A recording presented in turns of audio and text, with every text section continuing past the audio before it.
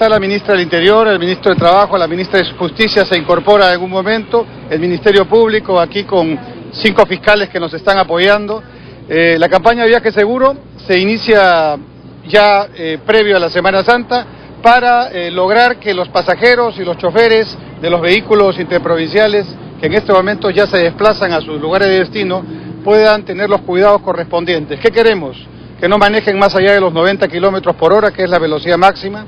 que sus tacógrafos estén actualizados, el tacógrafo es el registro de la velocidad que tiene el, vehículo, que los pasajeros sean conscientes y nos ayuden poniéndose el cinturón de seguridad para su propia seguridad, que los pasajeros también nos ayuden con el pasajero veedor a chequear que no suban pasajeros en el trayecto, que no vayan parados, que el chofer reemplazo haga cada ciertas horas, cuatro, que es lo reglamentario, el cambio correspondiente. Y por supuesto estamos viendo también el ministro de Trabajo con su equipo, la ministra del Interior con la Policía Nacional, todo lo relativo a que se cumplan estas normas. Básicamente nosotros eh, en estos operativos verificamos la jornada laboral, que los choferes se encuentren registrados en planillas, nos interesan mucho los tiempos de conducción,